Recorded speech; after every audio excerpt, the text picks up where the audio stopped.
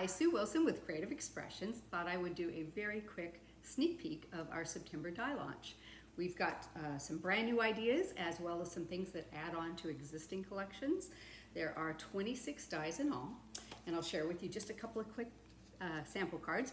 We have some more all-in-ones. There's four different designs on there. We've added to our uh, circle sentiment sayings. These are lovely. Three new ones up here. Uh, this is our new cherry blossom frame and our robin family. Now I love this because it's done in a kind of a positive and negative style.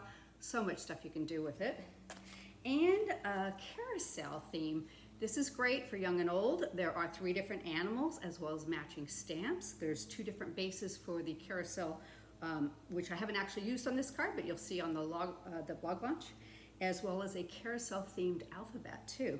Um, we've got a new Noble die. There's just so many fun things. I hope you'll tune in to the Party Craft blog at 6 a.m. on September 24th for the launch.